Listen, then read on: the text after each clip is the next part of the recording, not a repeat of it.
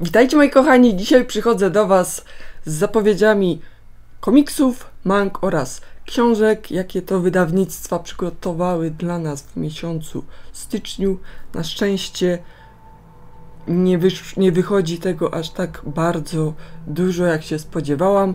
Zrobiłam jak zwykle selekcję, wyrzuciłam wszystkie te tytuły, które mnie mało interesują, a zostawiłam tylko te, które mnie bardzo interesują, albo takie, które już mam, ale są wznowienia i to są tytuły, tytuły, które jeżeli ich nie macie, musicie sobie koniecznie kupić. Zacznijmy od komiksów, które ukazały się jeszcze w grudniu. Ukazał się do dróg Portugalii. Jest to komiks, który obecnie kosztuje 98 zł. Jest dużego, nawet bardzo dużego formatu 23 na 32 cm, 264 strony, twarda oprawa. Ten komiks się ukazał 22 grudnia. Komiks, którego ja nie mam, który jest podobno genialny i świetny. Komiks, który sobie na 100% kupię. Tak swoją drogą jest to już trzecie wydanie. I to jest jedyny komiks, jaki się ukazał w grudniu, którym Wam nie mówiłam. Przejdźmy do stycznia. 19 stycznia ukaże się kolejny tom komiksów z serii Hill House Comics pod tytułem Daphne Byrne. Jakkolwiek się czyta ten tytuł, ja bardzo lubię komiksy z tego z tej serii. Dobrze się przy nich bawię. Komiks standardowego, standardowej wielkości 17 na 26 cm, 160 stron. Kosztuje obecnie 48,90. Taki, to jest taki lekki horrorek, który ja sobie kupię, bo się przy nich dobrze bawię. Następnie 19 stycznia ukaże się kolejny trzeci tom Sandmana, Kraina Snów za 48,90. Komiks tak samo ma 160 stron tej samej wielkości, 17 na 26 cm. Komiks, który ja mam, ale jeżeli ktoś z Was nie ma, ja bardzo serdecznie polecam wszystkie Sandmany.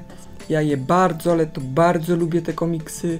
To są jedne z moich ulubionych, jakie mam na swoich półkach. Dalej 25 stycznia Załoga promienia za 90,90 jest to grubiaczek 540 stron w miękkiej oprawie takiego niewielkiego formatu 15 na 21 cm.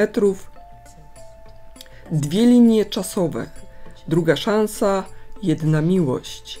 Załoga międzyplanetarnego statku podróżuje do najdalszych zakątków kosmosu, by odbudowywać piękne, ale zniszczone przez czas struktury i w ten sposób odzyskiwać pamięć o przeszłości.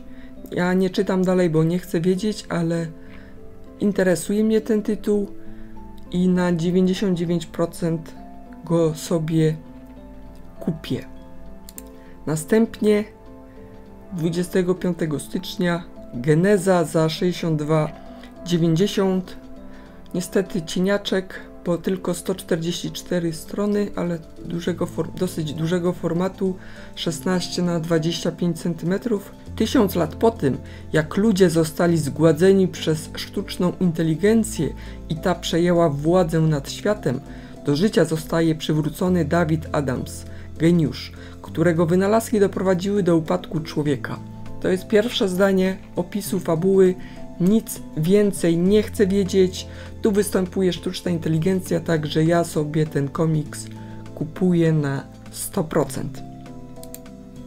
Następnie wychodzi już szósty tom Wiedźmina, Lament za 27,90, 112 stron, 26 na 17 cm.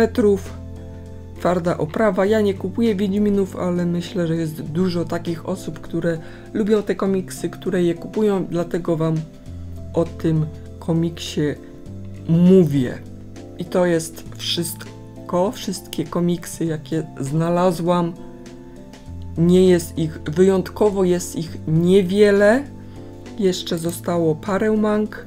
W grudniu ukazał się dodruk Pluto. Jeżeli ktoś z Was nie miał wszystkich tomów, czekał na dodruki, już są. Warto zajrzeć na dodruki od Hanami, bo wyszło wiele różnych dodruków, także jeżeli coś Wam brakuje, warto zajrzeć, zobaczyć, co się ukazało. Ja nie mam pierwszego i trzeciego tomu, więc na pewno sobie dokupię. A te mangi, akurat Pluto kosztuje 24,40. Także w grudniu ukazała się Saga Winlandzka, dziewiąty tom. Na pewno sobie kupię. Kosztuje 48,90. No niestety nie powiem wam ile ma stron, ale one mają jakoś ponad 400, około 400. Ja uwielbiam sagę winlandzką. Saga winlandzka ukazała się w topce, także myślę, że to mówi o wszystkim.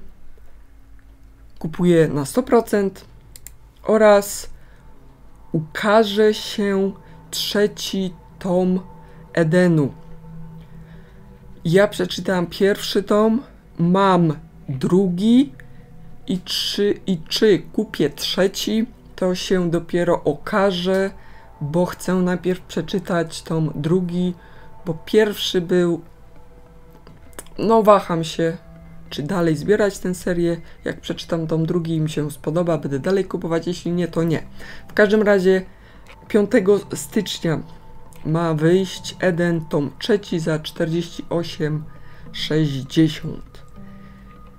Nie znalazłam żadnej książki, która by wzbudziła moje zainteresowanie, także nie powiem Wam o żadnej książce dziwne. Dokładnie sprawdziłam wszystkie zapowiedzi, nic mnie nie interesuje.